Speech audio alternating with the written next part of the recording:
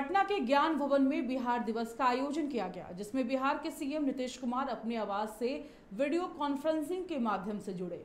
इस दौरान सभी ज़िले के डीएम भी मौजूद रहे। इससे पहले सीएम नीतीश और राज्यपाल फागू चौहान ने ट्वीट कर प्रदेशवासियों को शुभकामनाएँ दी दोनों ने बिहार के निरंतर विकास और समृद्धि की कामना की।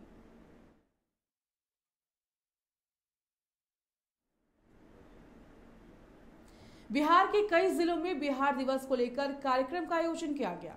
लखीसराय में बिहार दिवस के मौके पर गांधी मैदान स्थित खेल भवन के परिसर में ताइक्वांडो और योगा कार्यक्रम का आयोजन किया गया। कार्यक्रम में ताइक्वांडो खिलाड़ियों ने अपनी कला का प्रदर्शन किया।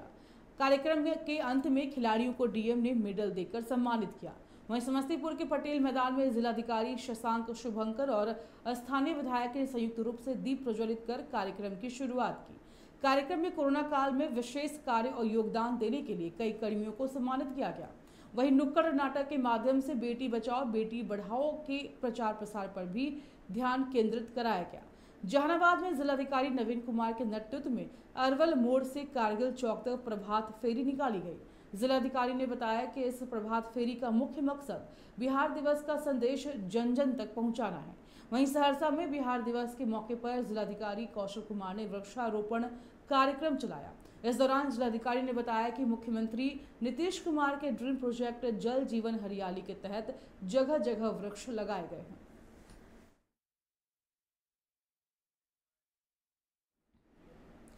खबरों में आगे बढ़ते हैं। बिहार में एक बार फिर पोस्टर वॉर देखने को मिल रहा है। दरअसल आरजेडी ने पटना के मुख्य चौराहे पर एक पोस्टर लगाया है, जिसमें बिहार विधानसभा के आगे मुख्यमंत्री नीतीश कुमार और उप मुख्यमंत्री रेणु देवी आँखों पर काली पट्टी बांधकर बैठे हैं।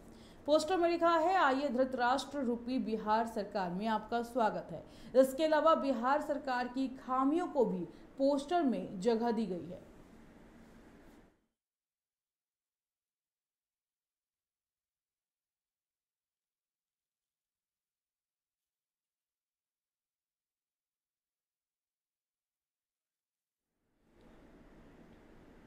वहीं आरजेडी के पोस्टर पर बीजेपी ने अपनी कड़ी प्रतिक्रिया दर्ज की है। बीजेपी प्रवक्ता निखिल आनंद ने कहा कि आरजेडी ने पोस्टर के ज़रिए एक दलित महिला और उप मुख्यमंत्री रेणु देवी का अपमान करने के साथ सूबे के मुख्यमंत्री को भी अपमानित करने का काम किया है। निखिल आनंद ने इस मामले में तेजस्वी यादव को अविलंब मुख्यमंत्री और डिप्टी सीएम से माफ़ी मांगने को कहा। आरजेडी के विधानसभा घेराव के मुद्दे पर बोलते हुए उन्होंने कहा कि आरजेडी बेवजह के मुद्दों को उठाकर जनता को दिग्भ्रमित कर रही है।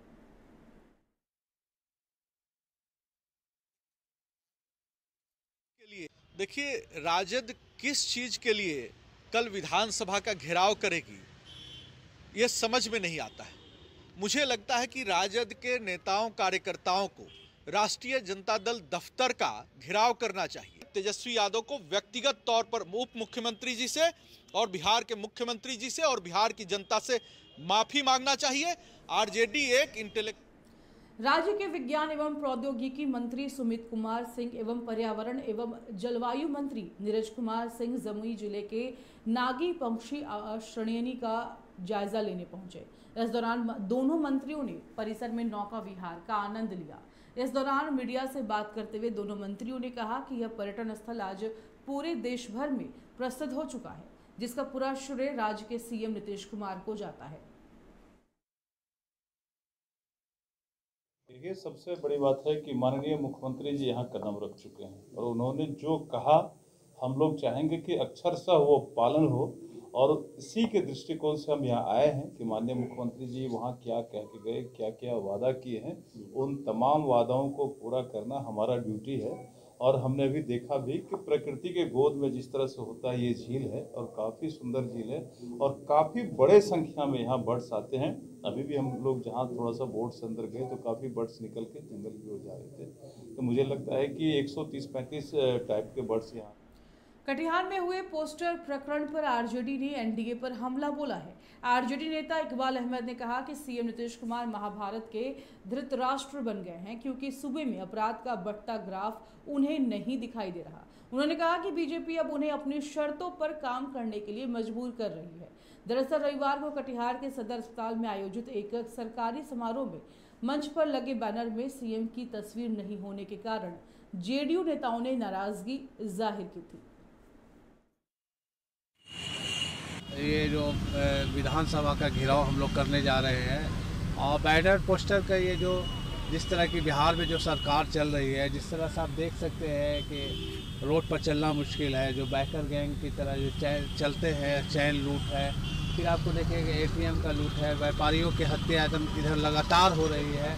सत्ता का प्राप्त शराब केंद्र आप देख रहे हैं कि जिस तरह से मंत्री के घर और स्कूल से शराब जो बरादरी का हमारे नेता प्रतिपक्ष ने अपनी जो आवाज़ को बुलंद की है उस पर भी जो है आप देख सकते हैं कानून का जो है राज्य में बेरोजगारी समेत अन्य मुद्दों पर सरकार के खिलाफ आरजेडी ने 23 मार्च को विधानसभा घेराव करने का फैसला किया है।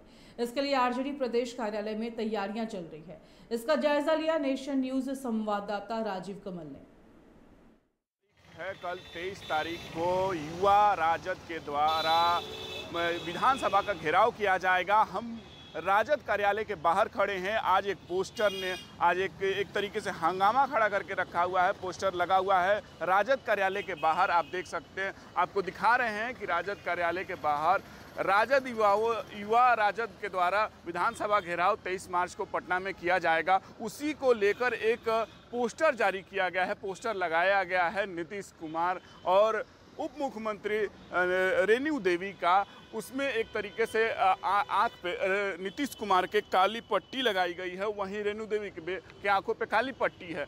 इस सर वो एक पोस्टर लगाए गए हैं जिसपे आप देख सकते हैं दोनों को ऊपर लिखा हुआ आइए धृतराष्ट्र रूपी बिहार सरकार में आपका स्वागत है। जिस वहीं ऊपर विधानसभा बिहार विधानसभा दिखाया गया है और ठीक नीतीश कुमार के पीछे सत्यमेव जैसे आपको दिखाई दे रहा है। जिस तरीके से बिहार में शराब को लेकर एक तरीके से हंगामा मचा हुआ है, इनके मंत्र बिहार सरकार के मंत्री के ही खिलाफ शराब रखने का आरोप लगा है, शराब मिलने का आरोप लगा है, उसको लेकर कर, कई बार तेजस्वी यादव ने सबूत भी दिखाए हैं। विधानसभा में एक तरीके से एक तरीके से जंग, तरीके से सत्ता पक्ष विपक्ष में बार बार बात विवाद में भी दिखाया गया है कि जिस तरह वो तेजस्वी यादव बार बार सबूत लेकर विधानसभा में पहुँचते हैं, दिखाते हैं, लेकिन सरकार उस पर कोई कार्रवाई नहीं करती है। उसी को लेकर दिखाया गया है कि आँख पे काली पट्टी लगाई हुई है, क्योंकि सरकार किसी को एक अपने मंत्री के बारे में कुछ नहीं कह रही है, ना उस पर कुछ कार्रवाई कर रही है, उसी को दर्शाया गया है। आप वही पोस्टर के आप देख सकते हैं कि दोनों तरफ़ से उस पर दिखाया गया कि बिहार में एक तरीके से अपराध और चेन लूट की घटनाएँ काफ़ी बड़ी हैं। जिसे आप ऊपर देख सकते हैं कि चेन लूट की घटनाएँ जिस तरीके से बड़ी हैं, एटीएम लूट भी इसमें दिखाया दर्शाया गया व्यापारियों की हत्या, सत्ता संरक्षण प्राप्त शराब केंद्र, शराब जिस तरीके से बिहार में मिल रहे हैं, उसको लेकर इस पर लिखा गया कि सत्ता संरक्षण, सत्ता के द्वारा ही शराब यहाँ बिकवाए जा रहे हैं, थानों से लेकर चाहे मंत्री हो, विधायक हो, तमाम ऐसे लोग हैं जो शराब में इन्वॉल्व हैं। उसी को लेकर इस पर दर्शाया गया है आपके पोस्टर उसमें ऊपर और एक दिखाया गया है जो एनडीए, बीजेपी ने एक तरीके से वादा किया था कि 19 19 लाख रोज़गार देंगे। उसी को लेकर एक भी यहाँ ऊपर लिखा गया है कि मुझे नौकरी चाहिए और युवा अपने जो भी डिग्री लिया है, एक लाइन में कतार में खड़े हैं। बहुत धक्का मुक्की कर रहे हैं, लेकिन उनको रोज़गार नहीं मिल रहा है। वहीं जब डिग्री लिए हुए जो बाहर निकलते हैं, उनको बिहार में कहीं रोज़गार नहीं मिलता, उसको भी दिखाया गया। जो कृषि कानून है, कृषि कानून जो जिस तरीके से केंद्र सरकार लाई है, उसको लेकर दिल्ली में प्रदर्शन चल रहा है, उसको भी वापस लेने के इस पर पोस्टर पर दर्शाया गया है। राजद के द्वारा। राजद कल तेईस तारीख को राजद, युवा राजद जो है एक तरीके से जेपी गोलंबर से लेकर विधानसभा तक जाएँगे, वहाँ घेराव करेंगे, उनके साथ तेजस्वी यादव भी होंगे, कल घेराव करेंगे विधानसभा का। अब ये देखना हो कि सत्ता पक्ष पे क्या प्रतिक्रिया देती है, जो बाहर ये पोस्टर लगा है, जिसके बाहर। अब देखना होगा कि आगे इस पर क्या ये जदयू इस पर बातें कहती हैं और उनके नेता क्या कहते हैं। पटना से अमित कुमार के साथ मैं राजीव कमल। बीजेपी नेता यदुनाथ पांडेय ने बोकारो स्थित परिसदन भवन में प्रेस वार्ता कर हेमंत सरकार पर निशाना साधा। उन्होंने आरोप लगाते हुए कहा कि 18 महीनों की सरकार में प्रदेश में भ्रष्टाचार, महिला उत्पीड़न, हत्या और उग्रवादी घटना में बढ़ोतरी हुई है। उन्होंने यह भी कहा कि हेमंत सरकार चुनाव में किए गए वायदों को पूरा करने से बच रही है। वहीं बंगाल चुनाव के मुद्दे पर बोलते हुए उन्होंने कहा कि इस बार वहाँ की जनता नरेंद्र मोदी को ही चुनेगी।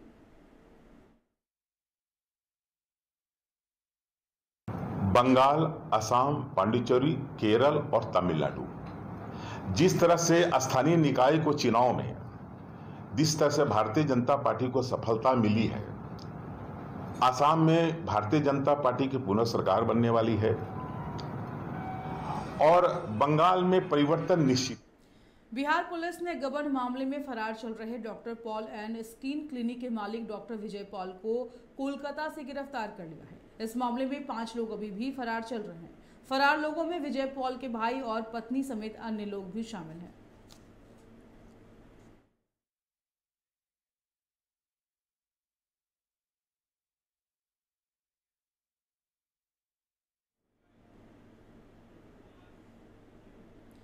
आगे दिखाएँगे आपको अपराध जगत से जुड़ी खबरें, लेकिन एक छोटे से ब्रेक के बाद।